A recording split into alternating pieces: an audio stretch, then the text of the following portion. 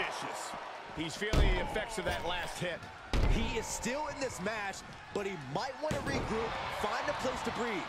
You cannot let anything get into your head during the Royal Rumble. The game in bad shape right now. Triple H is lacking his trademark intensity. Jake Roberts has been eliminated. This is a favorite of the WWE Universe, but Corey, how does the superstar feel going into it?